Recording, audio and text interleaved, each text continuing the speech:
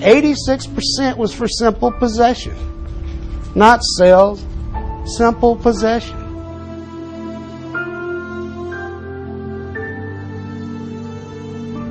Now, how many man hours did we use our public funds for that locked these people up, that was harming no one?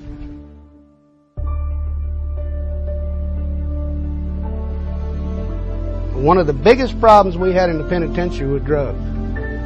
Most of the killings, most of the power struggles were over drugs.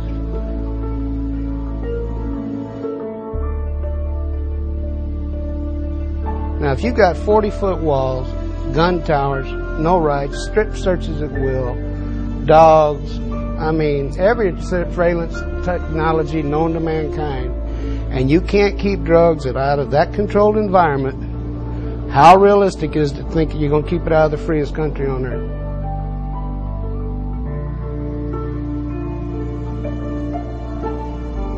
Thirty-five years later, a trillion dollars, we have more people incarcerated than any other country on earth, and yet we still claim to be the freest country on earth?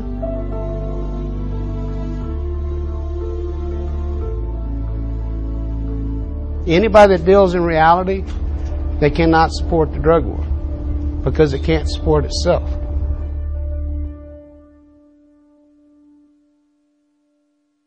I was a part of the system for so long and believed it and fought it and then look in the mirror one day and go, you're part of the problem instead of part of the answer, it sucks.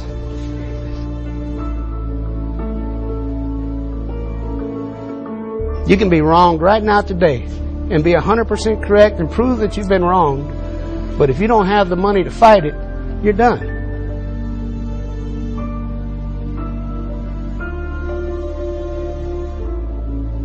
Their biggest weapon they've had through all this is our silence. We, we accept the abuse.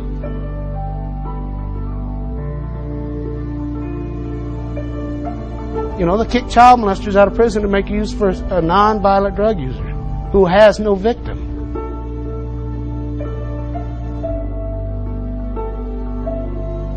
Why are we wasting this money? Why did you lock that kid up and give him a lifetime record where he'll never be able to get a good job when he had no victim and he harmed nobody?